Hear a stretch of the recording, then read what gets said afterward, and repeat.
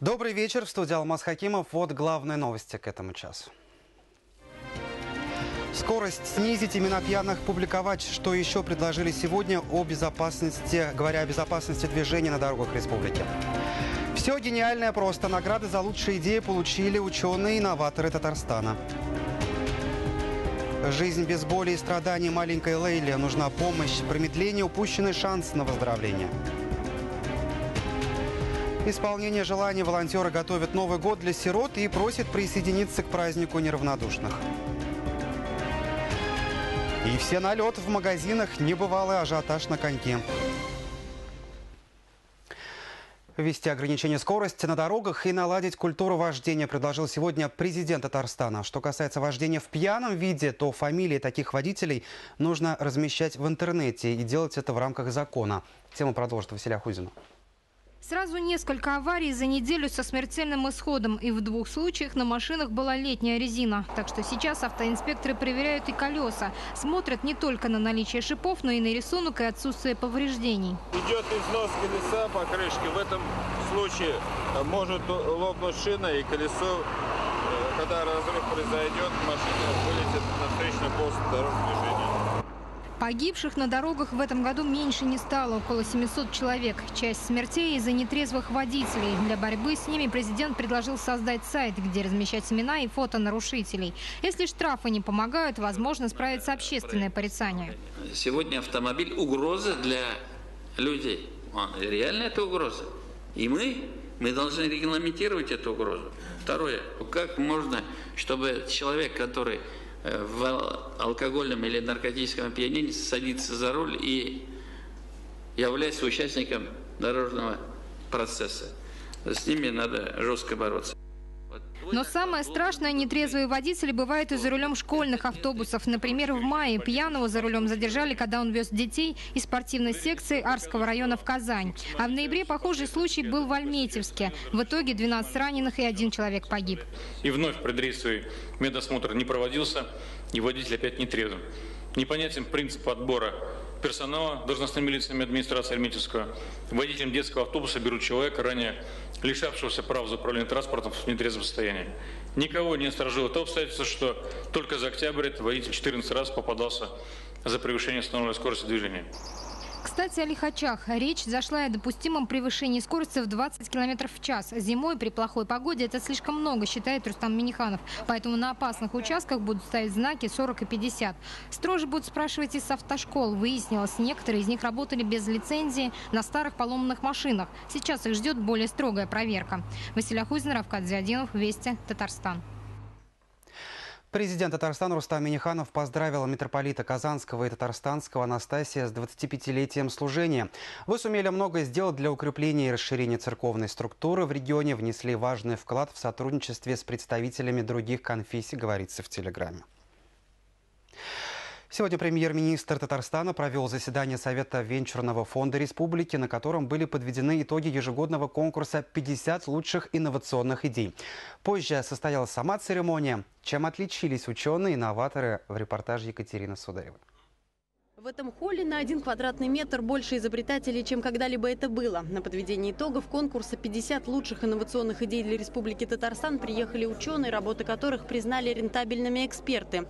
Девятиклассник Алексей Сайфулин из Кукмарского района придумал уникальную электронную заслонку для газовых котлов, которые обогревают деревенские дома. Изобретение помогает сохранять тепло и таким образом экономит деньги за газ. Свою идею мальчик доводил до ума вместе с учителем физики после занятий. Она перекрывает перекрывает дымоход временно для вентиляции, от вентиляции. Для того, чтобы теплоэлек... то есть, чтобы теплообменник меньше, а, тише остывал. Алексей Геннадьевич Сайфулин. Заслонка для газового котла ученика деревенской школы не требует больших затрат при производстве. Все гениальное просто, посчитали члены жюри и присудили Алексею приз в номинации «Перспектива». Лучшие проекты конкурса выбирают по главным критериям – значимость для экономики республики и возможность воплотить идею в жизнь. Очень важно, что и вообще за эти годы мы не только получили большое количество заявок, это более 10 тысяч, но мы сформировали с вами вместе э, понимание того, что это конкурс, в котором может принять участие каждый. Очень важно доверие бизнеса. Мы сегодня видим, что, бизнес, большой, крупный бизнес все с большим интересом относится к нашим с вами проектам. Призовой фонд конкурса 100 тысяч рублей, но деньги не единственная награда. В этом году впервые в качестве экспертов в Казань приехали специалисты из Сколково. Они а, прислали своих экспертов, была довольно-таки плотная работа. И к тем деньгам, призовому фонду, который обычно выделяли мы вместе с фондом содействия развитию венчурных инвестиций вот, в научно-технической сфере, Получилось паритетно выделено еще 10 грантов по 1 миллиону рублей паритетно. И все эти компании, которые одобрал фонд Сколково, станут резидентами Сколково. Всего на конкурс прислали почти полторы тысячи заявок, причем не только из Татарстана, но и из других регионов страны. Больше всего заявок было в области образования, экологии, природопользования, нефти и газа и сельского хозяйства. Гораздо меньше, всего семь, в области безопасности и противодействия терроризму. Екатерина Сударева, Айрат Каюмов. Вести. Татарстан.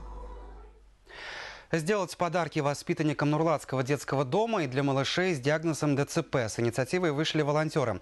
Список заветных желаний есть, но купить все и сразу они не могут. Нужна помощь неравнодушных людей. Подробности далее. На этом листочке список заветных желаний ребят из Нурлатского детского дома. Те, которые уже точно сбудутся, Гульнара Минигулова вычеркивает. Это значит, что нашелся тот, кто сможет купить подарок, и Дед Мороз передаст его адресату. Вот уже 7 лет Гульнара и те, кто принимает участие в проекте «Осуществи мечту», помогают желаниям ребят из Нурлатского детского дома сбываться.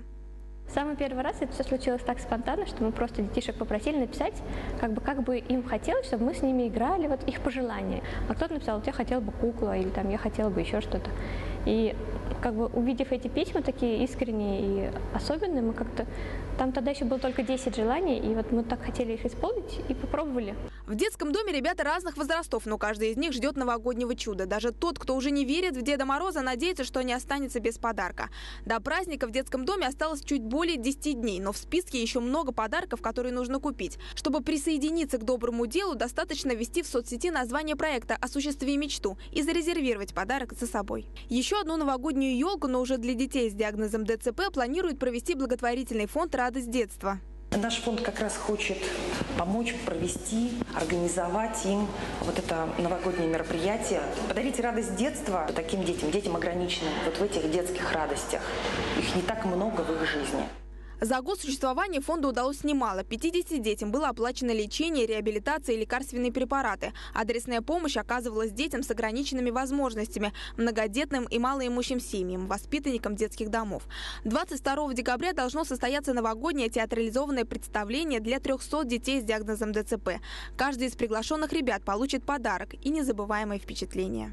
Это второй наш Новый год. Мы очень готовимся к нему. Мы с удовольствием пойдем.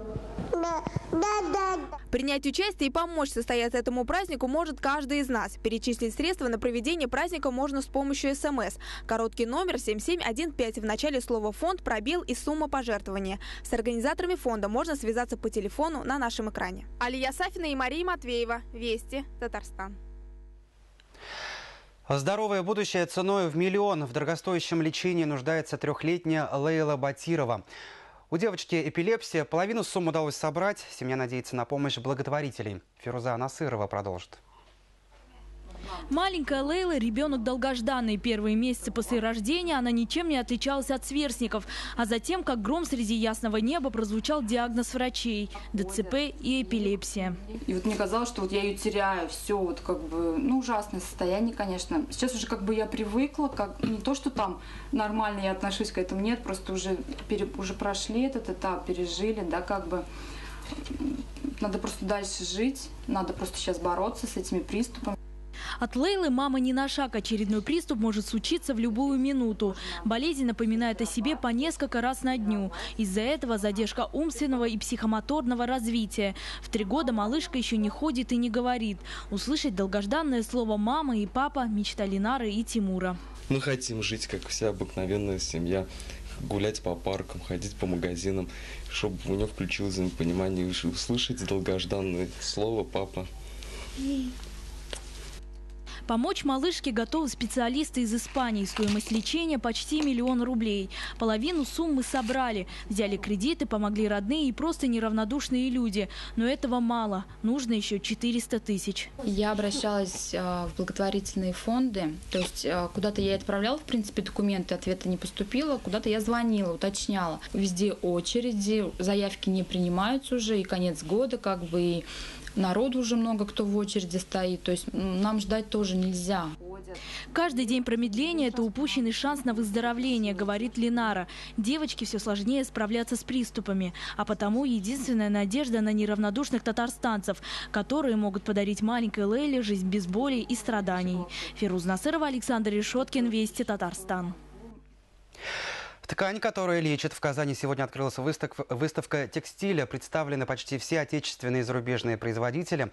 В ассортименте сотни полотенец, покрывал и одеял. Есть и экзотические, из трусиного пуха, например.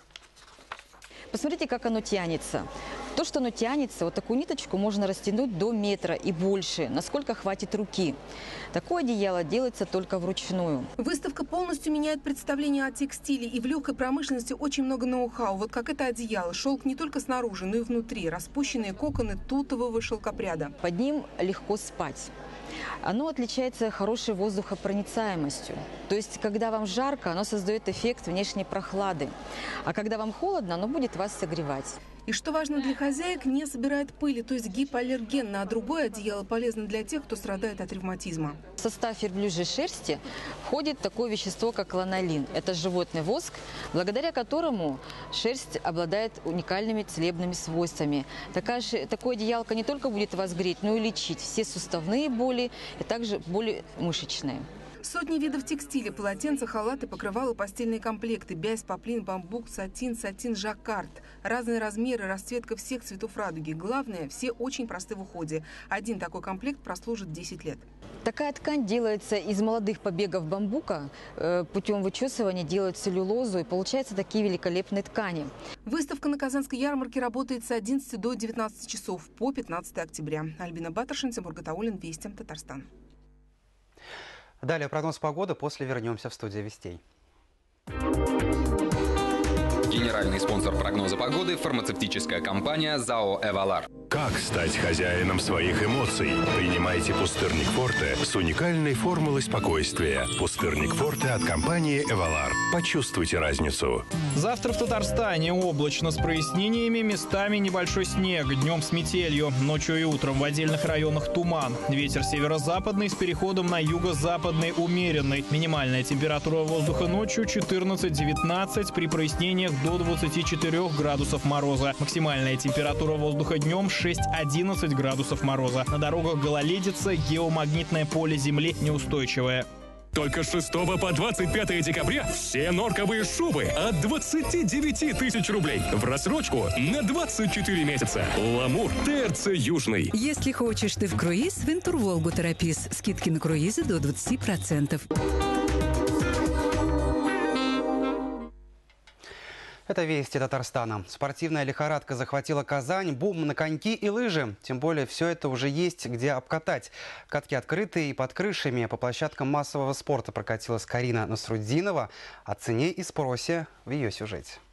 Предновогодняя лихорадка и в спортивных магазинах. Лыжи и коньки разлетаются быстро. Понравившуюся пару можно здесь же протестировать на искусственном льду. В выходные на мини-каток выстраивается очередь, рассказывают продавцы. Среди тех, кто решил устроить тест-драйв и семья Минаковых. Итог – покупка сразу трех пар.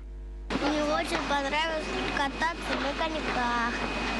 В этом году хотим как бы поставить его на ноги, на каток, чтобы он учился потихоньку приобщался к спорту. Вот выбираем ему коньки. Очень хорошая модель нам понравилась. То, что э, ребенок, он с каждым годом растет, соответственно, и ножка у него тоже растет. И вот коньки универсальные, получаются, раздвижные.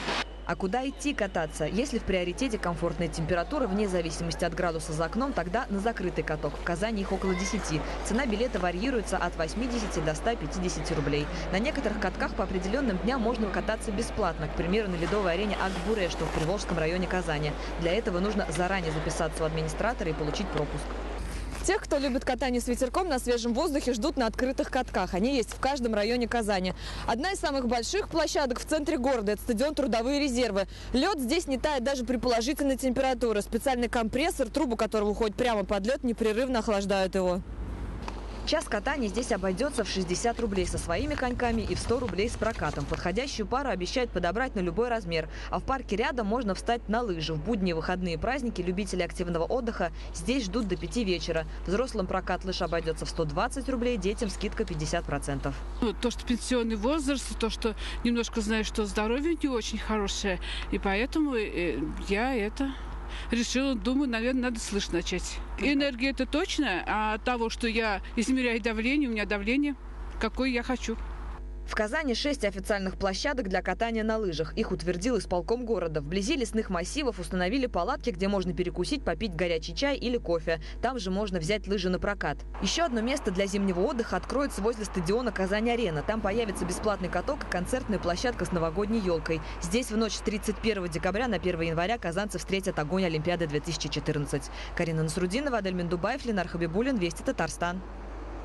Сегодня 60 лет Андрею Макаревичу. Его песни стали международными. Любили их не только в Советском Союзе. Сейчас у него масса поклонников в России и за рубежом. Сегодня жители Китая, Вьетнама и Бангладеша поздравили создателя «Машины времени» с юбилеем. Он создал машину времени. Не одну, а две. Во-первых, свою легендарную группу. Во-вторых, музей социалистического быта, который переносит посетителей на полвека назад. С его легкой руки, вернее ноги, здесь появился первый экспонат – джинсы. А потом раритетные фотографии, пионерский барабан и чехол от гитары, с которым ходил на репетиции. С такими чехлами э, музыканты ходили в ДК «Энергетик» знаменитый в Москве. Тут место тусовки, где собирались практически все достойные рок-музыканты того времени, московские. Не только с Казанью такие тесные связи у Андрея Макаревича. Его песни даже за океаном поют. Вот гости из Соединенных Штатов специально к юбилею рок-музыканты выучили пару куплетов. Ну, известный певец России. Ну, для нас это похоже на... А что такое? Боб, Боб Дилан? Гостям из Китая, Вьетнама и Бангладеша сравнить Макаревича не с кем. Для них он неповторим. И песни девушки поют так душевно, когда же у самого Андрея Вадимовича не получается. Перешептываются в зале зрители.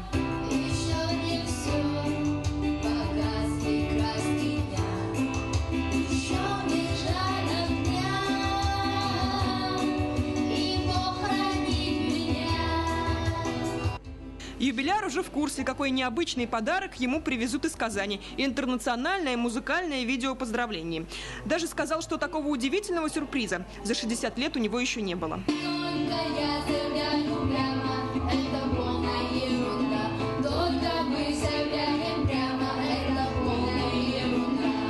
Дарья Турцева и Равкат Зиадинов. Вести Татарстан.